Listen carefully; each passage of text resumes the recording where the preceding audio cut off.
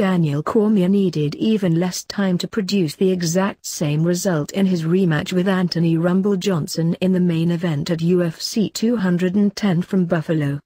The first time Cormier met Johnson in 2015, he accepted the fight on short notice after former champion Jon Jones was stripped of his title following an arrest on hit-and-run charges in New Mexico. On that night, Cormier needed less than three round to lock in a rear naked choke to submit Johnson to claim the light heavyweight title. In a near-carbon copy performance, Cormier finished Johnson by the exact same submission except this time he put him away in the second round despite suffering a broken nose during the first fight minutes of the fight. Johnson is best known for his massive knockout power, but the number one ranked contender wasted no time looking for a takedown against the former two-time Olympic wrestler. Cormier did a masterful job of blocking the takedown before reversing positions against the cage until referee John McCarthy separated the fighters after the champion was caught grabbing the cage.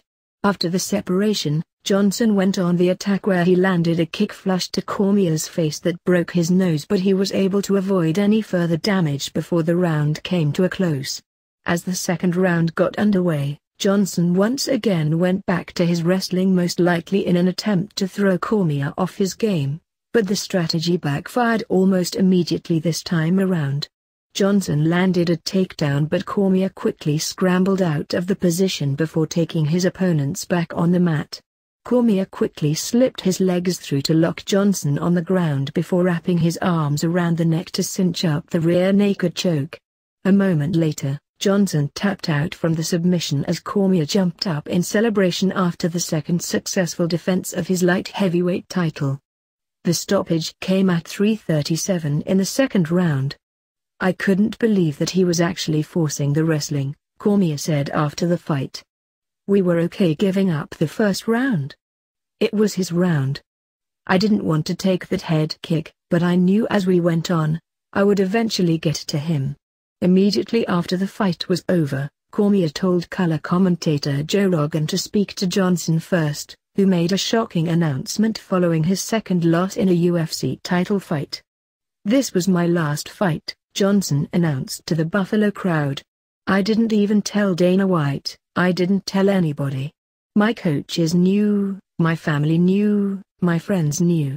I didn't want any distractions. I have to thank you all for being there for me.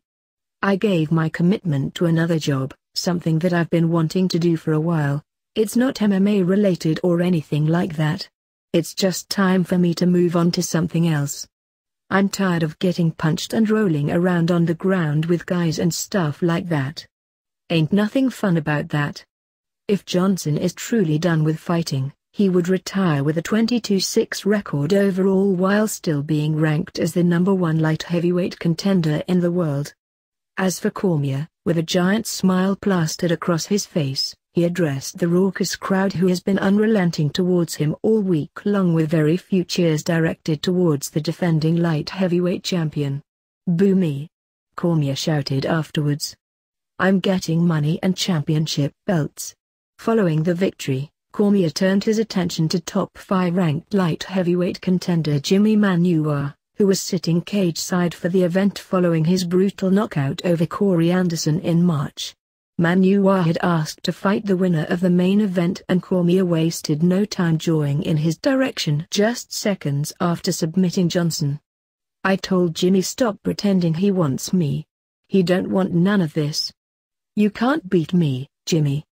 Jimi, you could come in here with your bare knuckle and punch me. I will eat that. I will eat that. You can't beat me, Jimi. You can't beat me, you know it. Don't lie to yourself. I like Corey Anderson but you just beat Corey Anderson. Sit down, young man. It didn't take long after Cormier had words with Manuwa that he was then directed at former champion Jon Jones, who also happened to be sitting cage-side for the fight.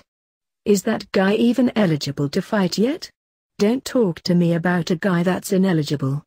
When you get your expletive together and you're ready to fight, I'm here waiting for you. You know it.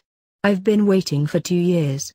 You got the first one but you knew after the first one that we had many coming. As a fighter, I respect him, we just don't see eye to eye. Locking me in here with him, that's a favor. He's a good fighter but still not eligible. When he gets his academics in order he can come back to the classroom.